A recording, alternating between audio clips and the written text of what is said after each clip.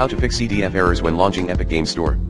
There are three potential CDF errors that can be encountered when launching the Epic Games Store, CDF 97, CDF 98, and CDF 99. To resolve these errors, first try uninstalling and reinstalling the Epic Games Store. 1. Click on Start or press the Windows key. 2. Type Add or remove programs and press Enter. 3. Look for the Epic Games Launcher in the list of apps and click on it. 4. Click on Uninstall. 5. Follow the on-screen instructions to complete the uninstall process. 6. Once the uninstallation is done, open your internet browser and go to the Epic Games Store. 7. Click on Get Epic Games in the top right corner to download the latest Epic Games Launcher installer.